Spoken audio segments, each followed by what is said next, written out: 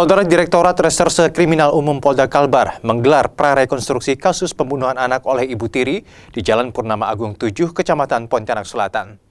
Tersangka nyaris diamuk masa saat keluar dari lokasi prarekonstruksi.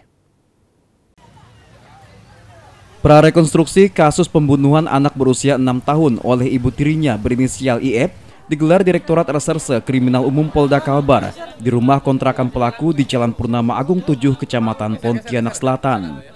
Mengetahui adanya prarekonstruksi, ratusan warga memadati lokasi tersebut. Usai prarekonstruksi, tersangka nyaris diamuk masa.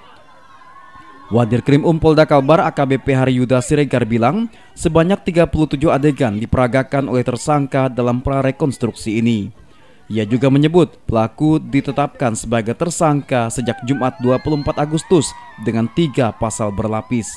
Kalau dari fakta yang kita temukan ya, disesuaikan dengan hasil BAP yang sebelumnya, ada perbuatan-perbuatan yang lain, uh, lain yang dilakukan oleh pelaku yang untuk saat ini diduga uh, bukan hanya pada saat hari kejadian di Senin hingga Selasa seperti itu yang menyebabkan uh, meninggal dunia, tapi ada perbuatan lain yang mengakibatkan menyebabkan korban meninggal dunia.